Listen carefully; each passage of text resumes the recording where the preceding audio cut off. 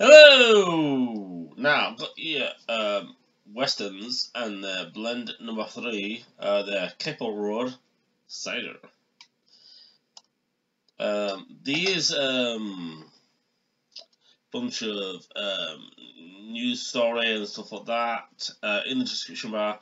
I uh, couldn't find, other than that, uh, it's labelled as the first craft cider, but I've had cider in cans before, so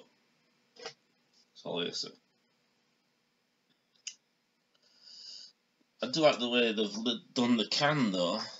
They've targeted it definitely towards craft beer drinkers and craft cider drinkers.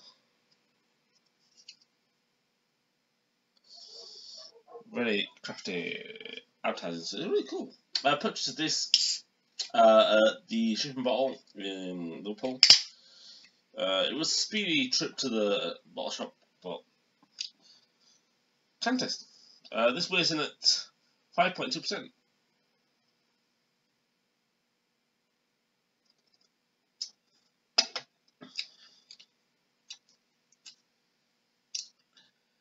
Very apple pot pie taste. Very um, sticky. Uh, it's definitely um, sweet to medium.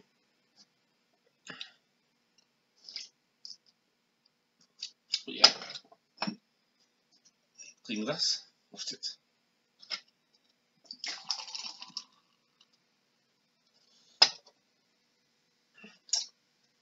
Amber yellow colour. Lots of carbonation.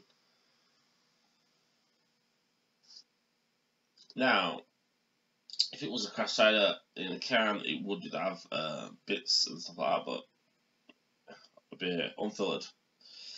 Cheers.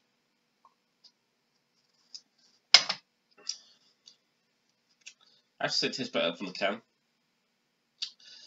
The um, taste from the glass is very thin. Apple apple uh, peel and apple taste is very minimalistic. It's, it's almost, almost all about the carbonation. Body is uh, thin to medium.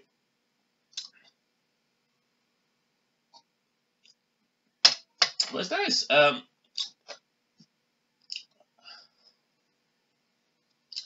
Weston Cider since 1880. That's good. I know Weston's was one of the first cider companies I like to enjoy. Uh, Old Rosie. But this is okay. Nice. I can't remember exactly how much I paid for it. But uh, what about you? Yeah. It's a nice cider. I'd rather drink it from the can than the glass though, but you care.